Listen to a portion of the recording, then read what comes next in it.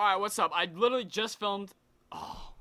Ju no, that was right. I did just film a video for my second channel, Boss. Go type in Boss, all caps, see if you can find it. I don't have very many subs on that channel yet. But hopefully this video, well, no, not this. Oh my god. Hopefully the video I just filmed for this, for the... Hopefully the video that I filmed for the Boss channel will put me at some more subs, and you'll be able to find it. Jesus. Okay, anyway, this is my tips for starting BMX. Now, this can apply towards scootering, skating, rollerblading, any, freaking anything. So pretty much my advice is you gotta know what bike to get, or what whatever you're gonna do. What to get. Honestly, if you're just starting out, zero skill, get something. Something that functions, technically. So you can start learning the basics. For a bike, you can start learning bunny hops, 180s, just the basic stuff. And then you can sell that. And then maybe you can get some hand-me-down parts, or you can start working and sell your bike and save up for the next, you know, a little bit better thing. And you just kind of work your way up. So after you've started working and started learning tricks and worked your way up, you're slowly building into new bikes, and you're slowly building your your trick vocabulary, if you will. So you've you've got your stuff, you know what you're doing. The cool thing about BMX is you can take your career wherever you want. You can take it like me and do the YouTube route and start your own brand, or you can get sponsored by different companies and just build off them. You can do whatever you want. So right now I'm to talk about taking the YouTube route. Pretty much with YouTube, you just ride your bike with your friends, you hold up an iPhone, anything, an expensive camera, a cheap camera, hold it up, film whatever you want. You can film edits, you can film vlogs, you can film how-tos, anything you want build your subscriber base, and then boom, you've already making a living out of that. If you want to talk about how to make money off YouTube, go subscribe to my boss channel, go check that out. I'll put that the link in the description.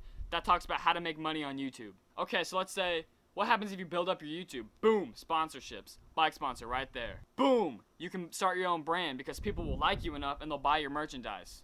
BossIndustries.co buy my merchandise. So that's the road I'm taking. I'm building up my YouTube, I'm building up my fan base, building up my brand, and hopefully I'll get a bike sponsor, and it'll all just build off itself.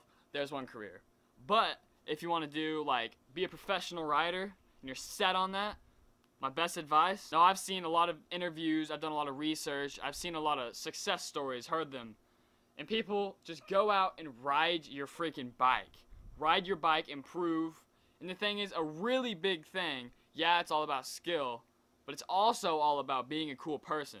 Because if you're a complete awkward douchebag, no brand's gonna want to work with you. Because they're gonna look at you and they're gonna be like, yeah, he's good at riding, but he's a douche to all the kids at the skate park, so no one's gonna buy his parts.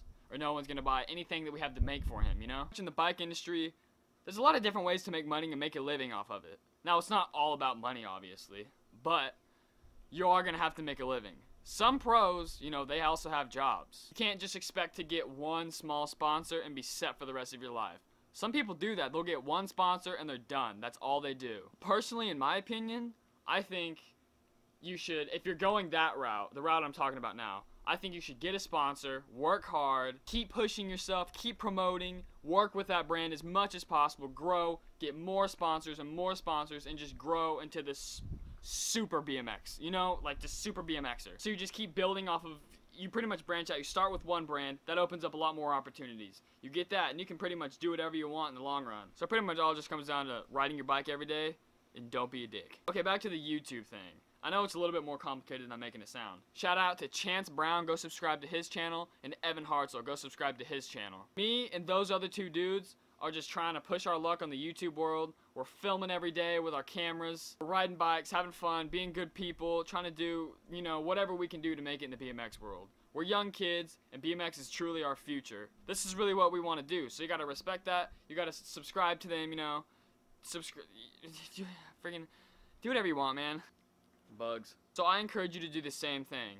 And YouTube, it's really, have you seen Adam LZ? Like, okay, he's good, Okay, no, no, no, no, no. Have you seen John Hicks? Okay, I love John Hicks. Best filmer of all time, in my opinion. But is he really deserved to be pro? Like, yeah, the dude's good. Yeah, the dude's... Okay. Okay, yeah, the dude's good. He's, you know, but I don't know if he's pro. But the thing is, another example is he's a good person and he has a great fan base on YouTube. Some people don't see that the right way. They're like, oh, he doesn't deserve to be pro whatsoever. So if I ask this question, does he deserve to be pro? Pro? I don't know. Pro? I, I don't know. But does he deserve to have sponsors? Hell yeah, he does. He's a super cool dude. He influences tons of people every day to go out and ride their bike, especially me. He inspires me to film the videos, grow my own YouTube career.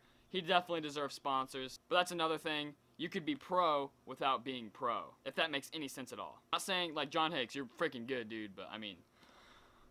Next thing. My best advice, I'm totally winging and random freaking.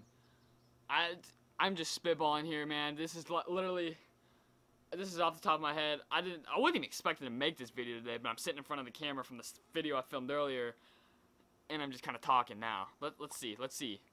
My my best advice on your route you should take in the steps. Let's go with what I'm doing.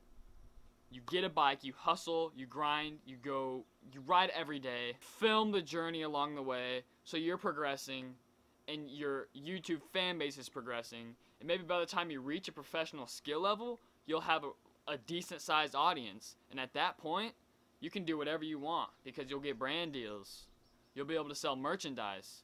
You'll be getting AdSense revenue in all the millions of ways you can make money on YouTube. Honestly, it's just exposure is really what the YouTube thing is about. Because the more people, the more you upload, the more you film, the better content, the more people will watch it, more exposure, especially for companies. Companies will get on YouTube and they'll look for people and they'll find you. I know I'm kind of rambling, but at the same time, I feel like I'm kind of trying to get you to understand how important this YouTube thing is and how important not being a complete dick in the BMX world is. So be a good person, build your fan base, whether it's social media, whether it's YouTube, or going to contests. Oh yeah, that's something I didn't even cover. Another way, I, there's no contest around here, so this is totally out of the question for me, so I'm sorry if I didn't cover this whatsoever. Contests, yeah, if you're good and you go out and you ride, and you ride contests, you win money. Boom, there you go. That could pay some checks, and that can also get you some sponsors, because that's another thing about exposure right there. Boom. Freaking companies are standing on the sidelines and you're winning money, and they're like, I need this dude on my team. Just got another comment. Shout out to Savage BMX. Always commenting, Go subscribe. Okay, anyway.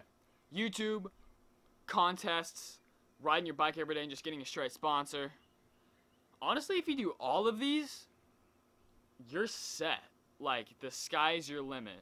Just work every day. Even if you're 20 years old and you have a full-time job, go after. Hustle, man. Just do what you gotta do. Life's too short to waste on not living out the dream, not living out the life that you really want to do, you know? You only live one time. Why waste it doing something you don't want to do? do what you want to do. You just got to work hard for it.